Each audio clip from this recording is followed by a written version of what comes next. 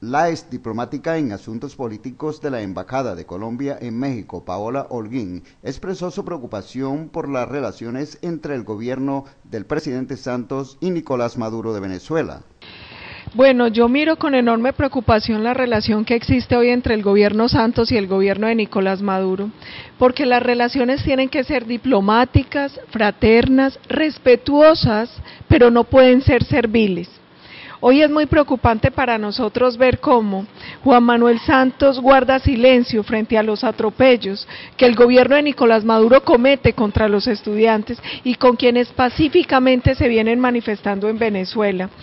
Mire, nosotros durante el gobierno de Uribe tuvimos claro una cosa, nosotros tenemos que defender la integración latinoamericana, la integración de Colombia con el mundo, en un marco de respeto, en un marco democrático pero también es importante hacer reclamos, por ejemplo, ante la actitud de Venezuela frente a las FARC, siempre le ha servido de albergue, ante la actitud de Venezuela que no paga a nuestros empresarios sus deudas, ante la actitud de Venezuela que hoy con el gobierno de Nicolás Maduro está ejerciendo opresión frente a su propio pueblo, frente a los estudiantes, violando la Carta Democrática de la que forma parte Colombia también a través de la OEA.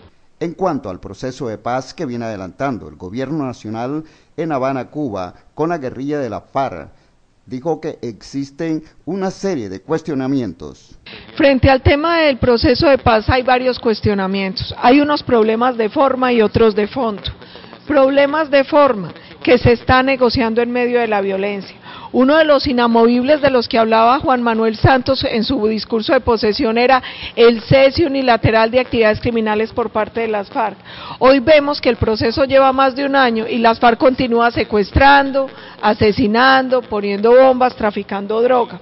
Otro problema de forma, una cosa es que las negociaciones sean discretas y otra cosa es que sean casi clandestinas. Los colombianos conocemos muy poco sobre el fondo de lo que se está negociando en Venezuela. Solo uno que otro anuncio de prensa, una que otra cosa por encima, perdón, en Cuba. Es muy importante también unos problemas de fondo.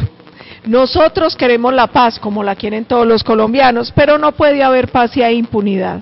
No puede haber paz si se niega justicia. No puede haber paz si se pretende que vayan los miembros de las FARC que han cometido delitos de lesa humanidad al Congreso sin pagar un solo día de cárcel.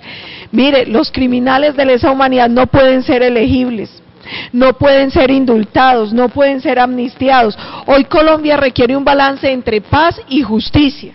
Colombia requiere paz sin impunidad. Colombia requiere paz respetando los derechos de las víctimas. Entonces nosotros queremos paz, pero tenemos objeciones frente al actual proceso porque no es un proceso de paz, sino de fortalecimiento de las FARC desde La Habana y de concesiones que van en contra de la Constitución y del pueblo colombiano. Ante los actos de corrupción que han salpicado al gobierno colombiano en los últimos días, Holguín precisó Mire, lamentablemente nosotros hoy tenemos un Congreso que a cambio de puestos y a cambio de mermelada, como la han denominado, no ejerce control político. A mí me duelen dos cosas con el tema del ejército. Uno, que parece que existiera una intención de desprestigiar y desacreditar a las fuerzas militares y de policía si hay delitos, si hay problemas de corrupción, tienen que ser corregidos y castigados inmediatamente. Pero uno también ve, mire qué, qué cosa tan compleja el tema, por ejemplo, de las chuzadas. Primero quisieron salpicar al presidente Uribe, después dijeron que eran ilegales, después que eran legales. Este gobierno de Juan Manuel Santos es un gobierno tramposo, mentiroso. Es un gobierno al que le falta claridad. Y a los congresistas también hay que hacerles un llamado de atención. Ellos están para ejercer control político y hoy vemos que falta control político. Hoy vemos casos muy graves de corrupción como los que nosotros hemos denunciado, del carrusel de la reelección y todo esto que se viene ventilando y en Colombia parece que no pasará nada.